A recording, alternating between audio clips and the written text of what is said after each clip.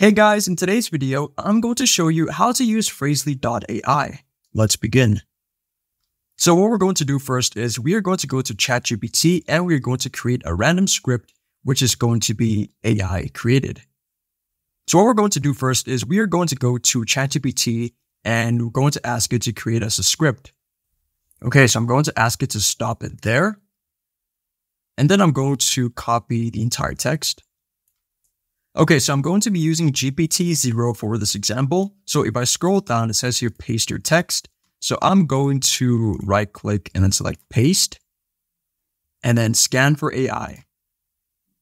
So it says here, we are highly confident this text was AI generated. So now we are going to use Phrasly.ai to try to fix this problem. So after I've pasted in the text, I'm going to select humanize.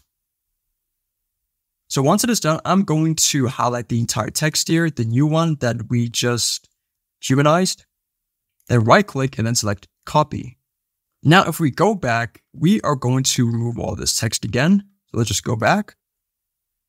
Then I'm going to paste in the new text and then select scan for AI. And there you go. We are highly confident this text is entirely human. Amazing. I hope this tutorial was helpful for you and I'll see you in the next one.